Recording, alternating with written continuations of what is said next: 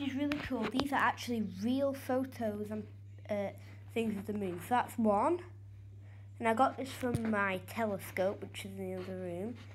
And this is a video. I don't know what the light's off. I zoomed it right into the moon.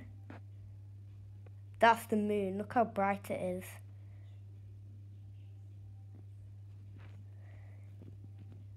See that? That's what happens when it's thousands of times uh, zoomed in. And then there's this one.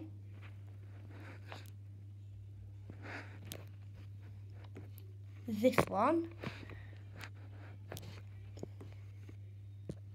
That one. That one. That one. That one. Look at the craters on there. At that one. And that's a different one. And that was a failed picture. That was one. And that was just my scope.